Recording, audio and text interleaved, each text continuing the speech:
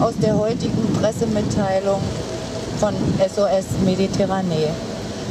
Die Aquarius war bis jetzt das letzte Schiff, was unten fährt. Italien setzt Panama unter Druck, der Aquarius die Flagge zu entziehen. SOS Mediterranee und Ärzte ohne Grenzen sind von der Ankündigung der panamaischen Schifffahrtsbehörde PMA erschüttert, der Aquarius unter offenkundigem wirtschaftlichen und politischem Druck der italienischen Regierung die Registrierung zu entziehen. Diese Ankündigung verurteilt hunderte Männer, Frauen und Kinder zu Tode, die verzweifelt nach Sicherheit suchen und stellt für die lebensrettende Seenothilfe der Aquarius einen schweren Rückschlag dar. Die Aquarius ist das einzige verbliebene nichtstaatliche Rettungsschiff im zentralen Mittelmeer. Beide Organisationen fordern die europäischen Regierungen auf, der Aquarius zu erlauben, den Einsatz fortzusetzen. Sie müssen entweder den panamaischen Behörden versichern, dass die Drohungen der italienischen Regierung unbegründet sind oder der Aquarius sofort eine neue Flagge ermöglichen, unter der das Schiff fahren kann. Am Samstag, den 22. September, war das Aquarius-Team schockiert, als es von der offiziellen Mitteilung an den Eigner des Schiffes, Jasmund Shipping, erfuhr. Die italienischen Behörden hätten die panamaische Schifffahrtsbehörde darin dringend aufgefordert, sofort Maßnahmen gegen die Aquarius zu ergreifen.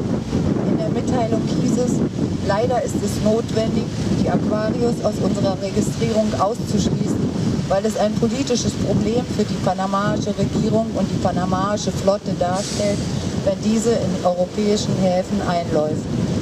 Diese Nachricht kam trotz der Tatsache, dass die Aquarius alle maritimen Standards und strengen technischen Spezifikationen erfüllt, die der Flaggenstaat Panama fordert. SOS Mediterranee und Ärzte ohne Grenzen verurteilen die Aktionen als weiteren Beweis dafür, in welchem Ausmaß die italienische Regierung bereit ist, dafür zu sorgen, dass schutzlose Menschen weiterhin auf See sterben und keine Zeugen anwesend sind, um die Toten zu zählen.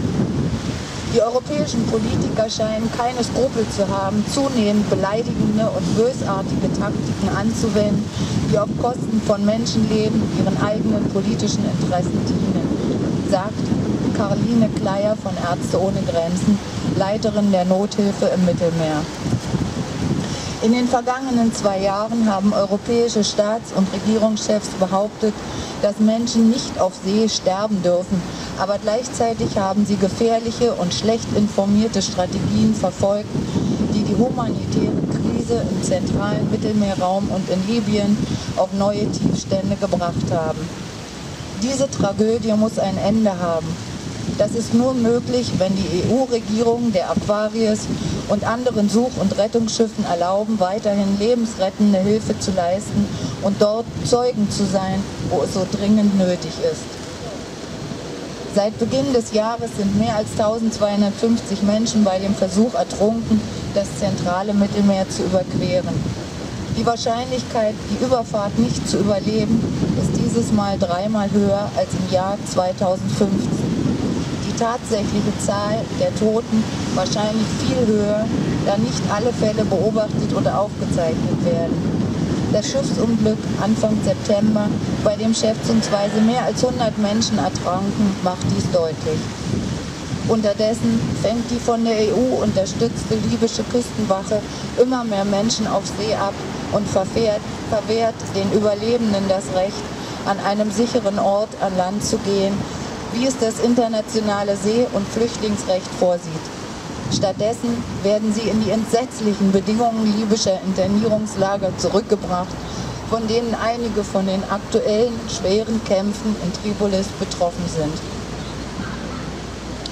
Fünf Jahre nach der Tragödie von Lampedusa, als die europäischen Regierungen nie wieder sagten und Italien seine erste große groß angelegte Such- und Rettungsaktion startete, riskieren die Menschen immer noch ihr Leben, um aus Libyen zu flüchten, während die Todeszahlen im zentralen Mittelmeer explodieren, sagt Sophie Bo, Vizepräsidentin von SOS Mediterranee. Europa kann es sich nicht leisten, auf seine Grundwerte zu verzichten. Die Nachrichten der panamaischen Schifffahrtsbehörde trafen auf der Aquarius während einer Such- und Rettungsaktion im zentralen Mittelmeer ein. In den vergangenen drei Tagen halfen die Teams zwei Booten in Seenot und haben im Moment 58 Überlebende an Bord. Sie müssen dringend an einem sicheren Ort an Land gehen, in Übereinstimmung mit dem internationalen Seerecht. Während des gesamten Einsatzes und bei allen bisherigen Rettungseinsätzen hat die Aquarius die volle Transparenz bewahrt und ist allen Anweisungen aller maritimen Koordinierungszentren und den internationalen maritimen Konventionen nachgekommen. Ja, der nächste Schlag.